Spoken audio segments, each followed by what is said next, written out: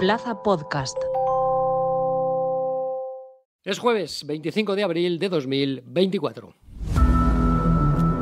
El sprint con Salva Folgado y Manolo Montalt.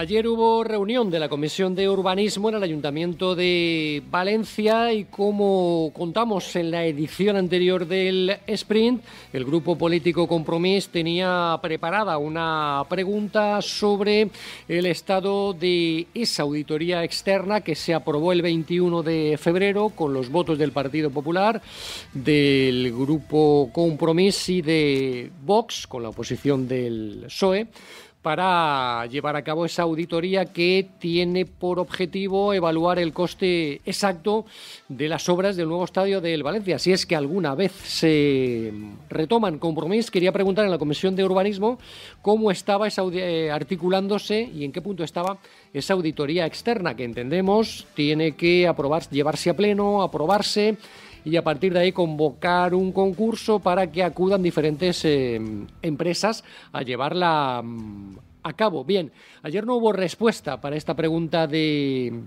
compromiso, no hubo respuesta desde el Partido Popular. Los populares se, limitaron a comentar que informarán en el momento oportuno que el orden del día estaba cerrado y que no se admitían em, preguntas, con lo cual, después de la reunión de la Comisión de Urbanismo, llegaron diferentes reacciones desde Compromiso y desde el PSPB eh, SOE. Esta es la reacción de la portavoz de Compromís, Papi Robles, al respecto. Hem tornat a reiterar-li al regidor que estem esperant esa proposta de negociació que fan de les fitxes i el conveni, és a dir, els drets que se va quedar el València i els drets que va tindre la ciutat en un acord que s'ha de fer bilateral, i a hores d'ara l'únic que tenim és immobilisme per part de la senyora Català, la qual cosa ens porta a pensar que està deixant que passi el temps, que tot decaiga, per tal de beneficiar el senyor Lim. Mira, nosaltres havíem presentat en la comissió anterior una proposta per a que se, fera, se duguera a terme una auditoria, va ser aprovada per la Comissió d'Urbanisme, però la realitat és que està totalment immobilitzada. No sabem absolutament res del que passa, ni tan sols tenim accés a l'expedient. No hubo respuesta por parte del Partido Popular, que eso sí, desde la alcaldesa, ayer María José Catalá estuvo visitando las obras del Roche Arena. Allí las obras sí que funcionan, allí sí que se está levantando un pabellón extraordinario, allí sí que hay un proyecto que, que marcha y que en breve será una realidad. Y desde las obras del Roche Arena, la alcaldesa María José Catalá comentó que no era momento para hablar del Valencia, simplemente era momento para hablar del Roche Arena y de Valencia Basket. Por lo tanto, pues pues probablemente si haya algún acto público hoy que lo habrá en el que intervenga la alcaldesa, es muy probable que los medios vuelvan a preguntarle y ya veremos si hay respuesta sobre este asunto. Desde Compromís hemos escuchado la reacción de Papi Robles y desde el Partido Socialista también llegó la reacción de Sandra Gómez, todavía portavoz del Grupo Socialista en el Ayuntamiento de Valencia, antes de marcharse al, Parlamento Europeo. Gómez volvió a criticar la gestión del actual equipo de gobierno y sobre Catalá dijo que está desnortada y que se ha convertido en la alcaldesa de Meriton. Hoy se le ha instado y se le ha preguntado qué va a hacer, cómo va a resolver el problema que hoy tiene el gobierno del Ayuntamiento de Valencia sobre cómo va a resolver su relación con el Valencia Club de Fútbol y sobre los derechos urbanísticos y no han sabido dar una respuesta. Y la respuesta que nos tiene que dar a todos los valencianos y valencianas es porque ella es la alcaldesa de Meriton y porque está dispuesta siempre a maniobrar y ayudar al señor Lim en lugar de dar ya una respuesta como alcaldesa de esta ciudad a un problema que hoy eh, tiene la ciudad de Valencia y es resolver su relación con los derechos urbanísticos. Y el equipo, mientras tanto, y ajeno afortunadamente a todo esto, prepara el partido del lunes en el Estadio Olímpico de Montjuic, que, enfrentará, que lo enfrentará al Fútbol Club eh, Barcelona. Volvió a los entrenamientos el equipo de Rubén Baraje, que continúa con las bajas del lateral, del capitán José Luis Gallá, y del delantero ucraniano Roman Yarenchuk. Los dos serán baja para el partido del lunes.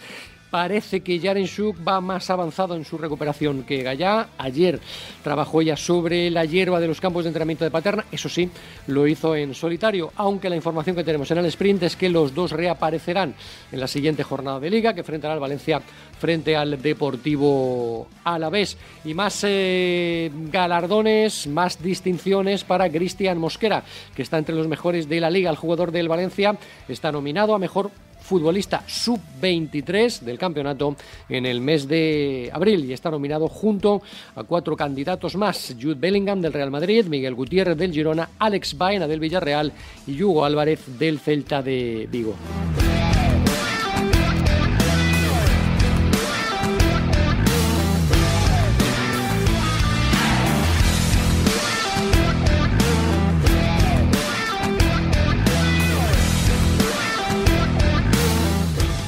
Y hoy tenemos partido de baloncesto, juega Valencia Básquet Femenino que comienza los playoffs por el título. Jugará hoy a las 8 ante el IDK Euskotren Donostiarra y el objetivo de la formación de Rubén Burgos es el de reeditar el título de liga que consiguió el curso pasado y además conseguir lo que sería un histórico triplete después de haber ganado la Copa de la Reina y la Supercopa esta temporada. Escuchamos al técnico Rubén Burgos. I nosaltres ens tenim que preparar de la mateixa forma i amb l'especialitat de saber que, que és un equip que en defensa pot canviar molt d'emparellaments, eh, que planteja diferents zones, que té amenaça en el llançament exterior i segurament ara, en més jugadors perimetrals, eh, en més motiu. I si no fas el teu treball ben fet no hi ha res més. Així que tenim que anar pues, dia a dia, en les sessions estem gestionant els esforços, perquè la gent arribi el millor físicament i estar totes a disposició del que demande eh, el partit i la circumstància immediata de, de cada jugadora. Bueno, volem que, que siga un playoff llarg, òbviament, i avançar tot el més possible, però ara mateix només podem centrar-nos en esta eliminatòria. Y después de la información llega el tiempo de la opinión de la mano de Manolo Montalt.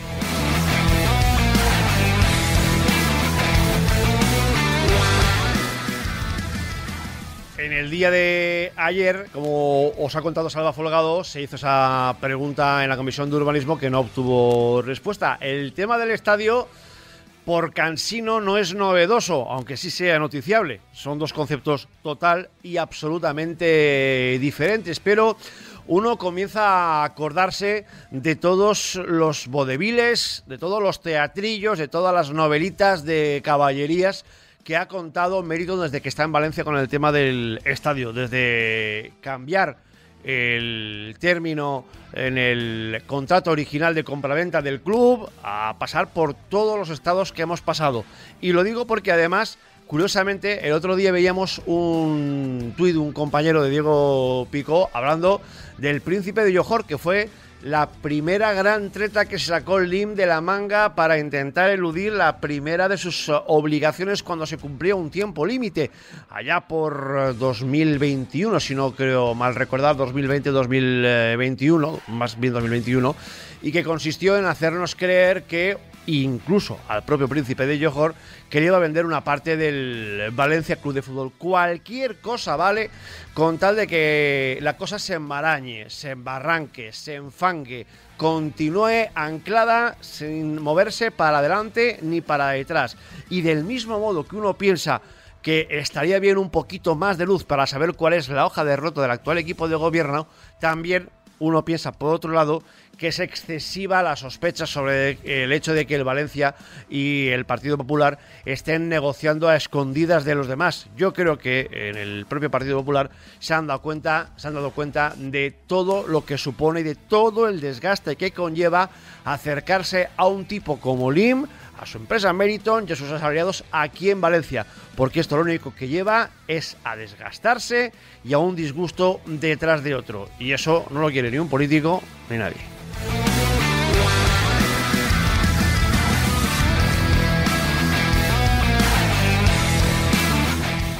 Y estos son los contenidos que se pueden leer en el día de hoy en Plaza Deportiva. La otra cara de la quinta del Pipo, el club tendrá que analizar la mejor opción para el futuro de Alberto Marí, de Diego Salvez, de David Otorbi, de Hugo González o de Rubén Iranzo. Mosquera, nominado a mejor jugador sub-23 de la liga en el mes de abril. En Plaza Granota, la información relativa al Levante Unión Deportiva. Explica Mario Lupión, el Levante podría reformar sus laterales para la próxima temporada. Es una de las posiciones marcadas en una planificación deportiva independientemente de la categoría en que se milite en baloncesto. El Valencia hoy a las 8 eh, ante el IDK Euskotren Donostiarra inicia su andadura para reeditar el título de Liga. En Entrenadores Valencianos por el Mundo, hoy Camarasa, que arma un proyecto de fútbol femenino en Guinea Ecuatorial con el apoyo de la primera dama del país. En definitiva, la mejor información que afecta a los equipos de élite de la ciudad de Valencia, Valencia Club de Fútbol, Levante Unión Deportiva, Valencia Basket y la mejor información del Polideportivo Valenciano la puedes encontrar, la puedes leer en plazadeportiva.com. Yo recuerdo que este podcast está disponible cada mañana de lunes a viernes en Plaza Deportiva y en las principales plataformas de podcast, Apple Podcast, iBox, Spotify, Google Podcast y Amazon Music. Como siempre desde aquí, os animo a suscribiros. El Sprint.